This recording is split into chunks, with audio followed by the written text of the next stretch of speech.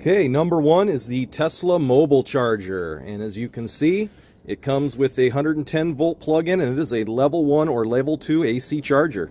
Alright, next you have what's known as the Tesla destination charger. This is a level 2 charger, 240 volt max AC, up to 48 amps, 11.5 kilowatt. This is what's known as a Tesla City charger, 75 kilowatt max. They're a little bit shorter, and you're going to find these in, in parking garages and other areas like that. And this is what's known as a version 2 supercharger. These are 150 kilowatt max, and it's a power sharing program you share between the A and the Bs.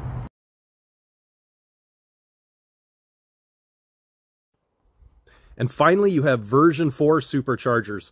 They're going to have a 3 meter long cable. They should hopefully be a 1000 volt architecture, and they're not in the United States yet, but they should accommodate non-Tesla EVs much better. And please hit that subscribe.